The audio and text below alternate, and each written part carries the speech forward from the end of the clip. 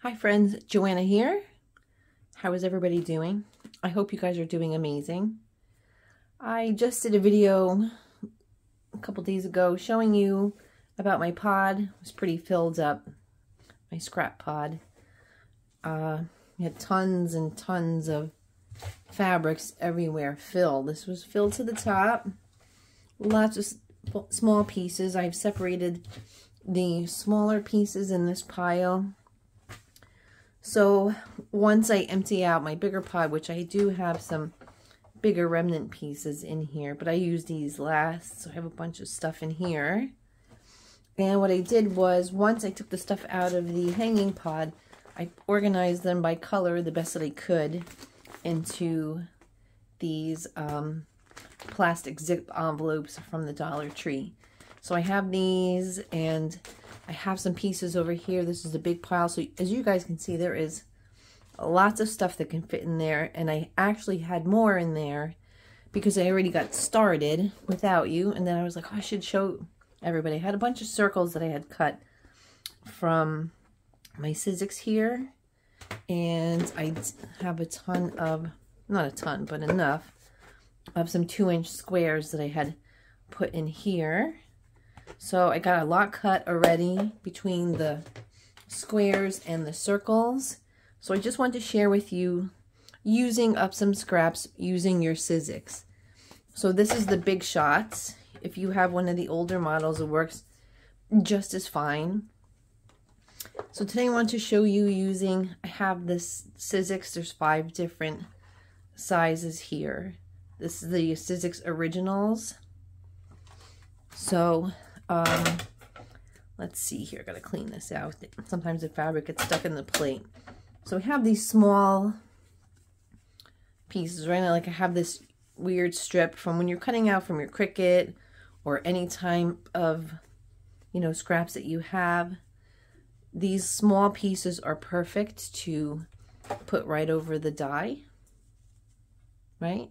You can tell I use that one a lot, right? So just taking your pieces, like you get these weird shaped pieces, you know, odd shaped pieces. And so today I'm just actually going to take my scraps, my small pieces. That's where the Sizzix is um, quite good to have um, just to be able to use your scraps, whatever size fits in here. Let's see. I love using uh, my Sizzix for these smaller pieces. My scraps up. So this is, right now, is just a mishmash of scraps, right? I just kind of put them on all over. I'm no, there's no cutting or measuring. Pop in your, your um, plastic plate here run it through a few times. My uh, craft table looks like a mess. There's scraps everywhere. Okay, so we remove our plate. We got a, we got some nice, this one's a little wrinkled, but we got some pretty good little circles, right? And this, the rest of these scraps are going to go now into my stuffing bin. I showed you guys the video of um, the pet bed that I made just from scraps inside and out. So we have some more circles. And just keep doing this until you use up, you know, a lot of your scraps. So we got a bunch. And this is fast and easy. This doesn't take much time. This one got a little weird, but...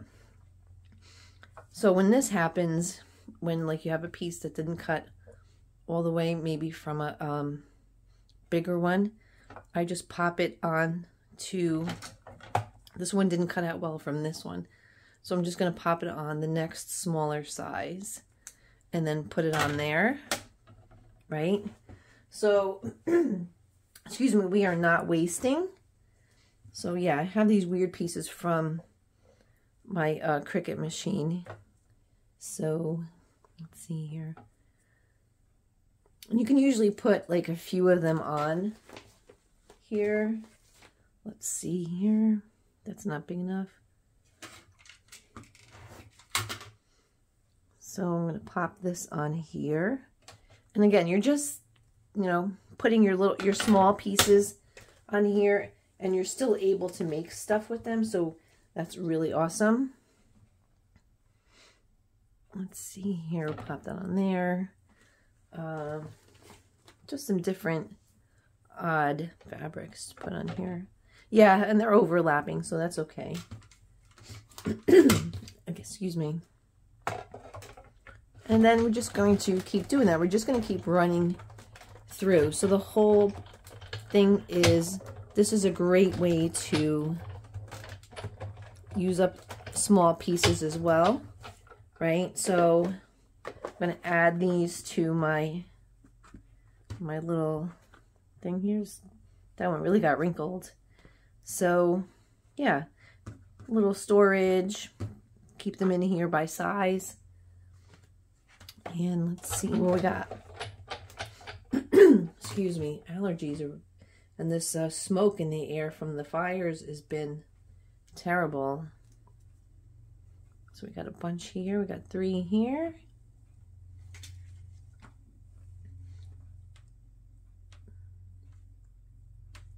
So let's see.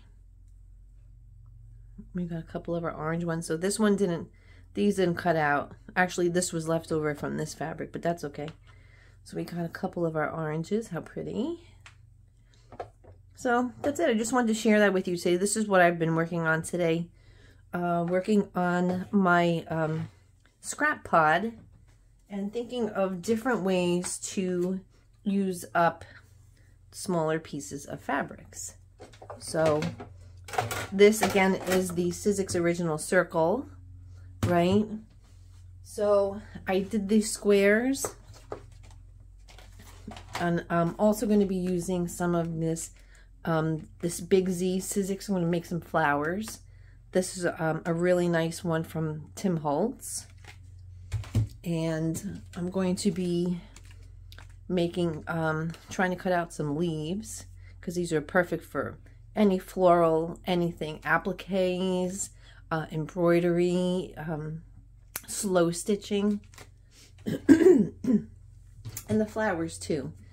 And I have hearts, which this is also a part of the uh, Sizzix Originals. There's four different heart sizes on here, if you could see that.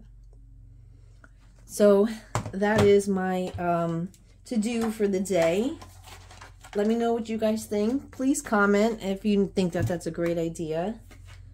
And uh, I have lots of stuff to do. I got to get busy.